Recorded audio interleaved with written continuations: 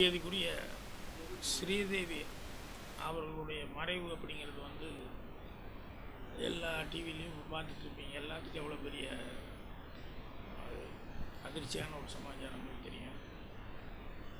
So cinema எவ்வளோக்கு எவ்வளோ சந்தோஷம் கொடுக்குதோ அதே நேரத்தில் வந்து சினிமா துக்கத்தையும் கொடுக்கக்கூடியது அப்படிங்கிறது இந்த மாதிரி எல்லாத்துக்கிட்டையும் நல்ல பேர் வாங்கி ரொம்ப நாள் சினிமாவில் நினச்சி எல்லாருக்கிட்டையும் பாராட்டுதல் வாங்கி விருது வாங்கி இத்தனையும் பண்ணவங்க வந்து அந்த மாதிரி ஆளுங்க சினிமாவில் மிஸ் ஆகும்போது தான் யாருனாலையும் தாங்க முடியாத அளவுக்கு சோகமாக போயிருக்கு So, அவங்க விஷயத்தில் ரொம்ப இது என்னென்னா எந்த குறையுமே இல்லாத அளவுக்கு அவங்க லைஃப் ரொம்ப நல்லா இருந்தது அவங்க வாழ்க்கை.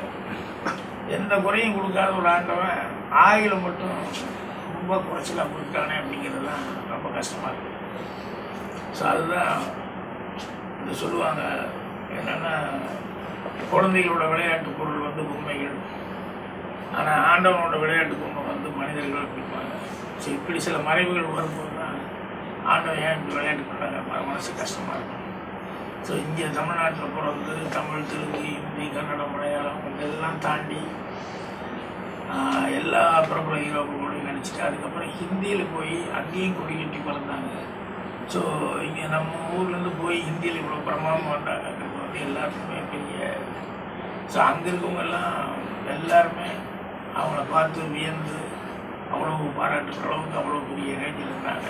அப்புறம் கல்யாணத்துக்கு அப்புறம் கூட வந்து அவங்க வித்தியாசமான கதாபாத்திரங்கள் அந்த ஏஜுக்கு தகுந்த மாதிரி அது இங்கிலீஷ் இங்கிலீஷ் அந்த ஒரு இது. அப்புறம் மாமன் பொண்ணு இந்த மாதிரிலாம் நிறையா சினிமாவுடைய தாகம் கடைசி வரைக்கும் அவங்க முறையாக வந்தது அது எனக்கு வந்து பதினாறு வயதில் படத்தில் வந்து ஃபஸ்ட்டு படம் நான் அசிஸ்டண்ட்டாக ஒர்க் பண்ணதில் அவங்க ஹீரோயின் ஸோ அது அதுக்கப்புறம் சிவபுரோஜாக்கர் படத்தில் நான் வந்து டைலாக்ஸ் எழுதினேன் அது அவங்களுக்கு அந்த படத்தில் நான் தான் டைலாக்ஸ் எழுதினேன் உள்ள டைலாக்ஸ் கொடுத்தேன் அதுக்கப்புறமா வந்து அவங்கள வந்து என்னுடைய படம் முந்தானே முடிச்சு வந்து அவங்க ஹிந்தி ரீமேக்கில் வந்து அவங்க ராஜேஷ் கண்ணாவோட அந்த ரோல் நடித்தாங்க ஊர்வசி ரோல் அப்புறம் மீண்டும் எனக்கே ஹிந்தி படம் வந்து மிஸ்டர் பேஜாரான்னு ஒரு படம் டைரக்ட் பண்ணுறதுக்கான வாய்ப்பு கிடைச்சது அதில் அணில் குருவோட பேராக டைரக்ட் பண்ணேன்.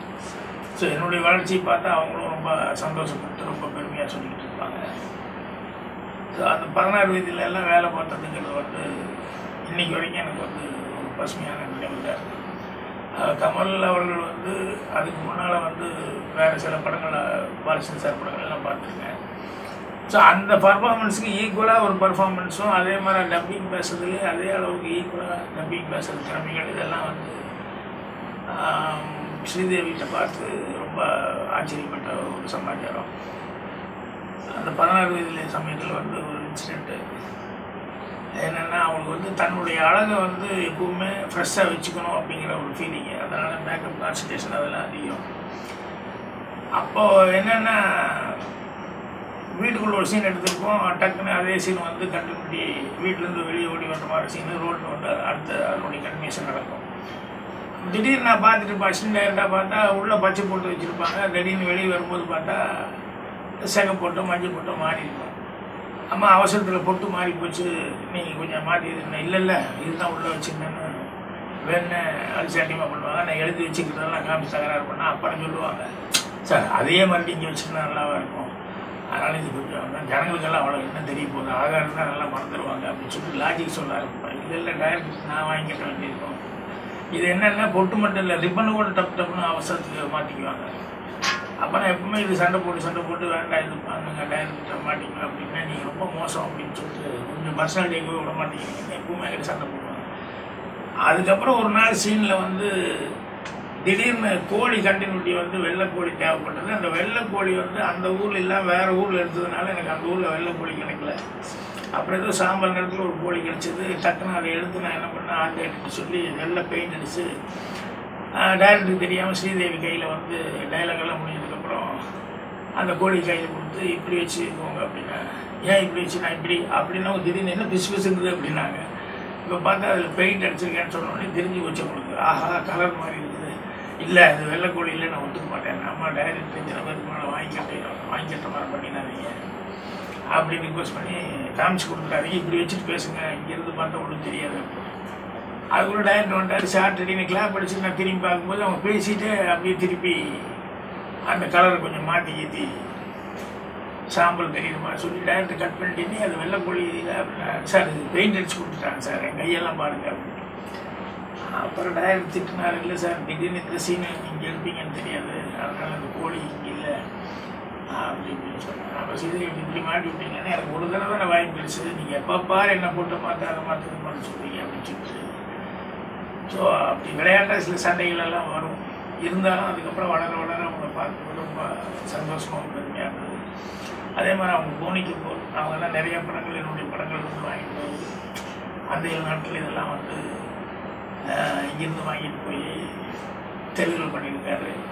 அது ஓசாதி நினைக்கிறாங்க? அதே மாதிரி எங்கே சென்றாஜ் அதெல்லாம் வாங்கிட்டு ஸோ அவங்கெல்லாம் அவ்வளோ நல்லா பழகிட்டு இருந்தாங்க. அப்புறம் அவங்கள கல்யாணம் பண்ணும்போது அப்புறம் மிஸ்டர் பேச்சாரா அதில் வந்து அனில் கபூருக்கு பேரன் நடிச்சிருந்தாங்க.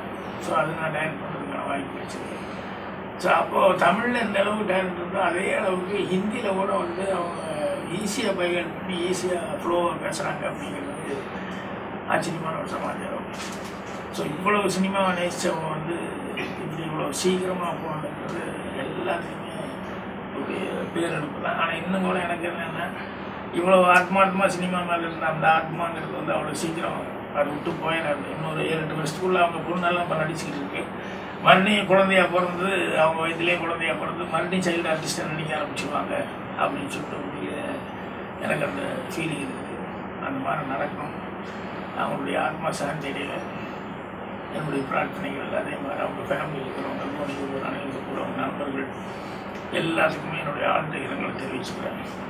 ஸோ தமிழகம் பூராமே ஹிந்தி ஹிந்தி எல்லாருமே வந்து இன்னைக்கு அது ரொம்ப துக்கமாக இது பண்ணிட்டுருக்காங்க ஸோ அந்தளவுக்கு அளவுக்கு எடுத்தவங்க அந்த ஆத்மா சாந்தியடையில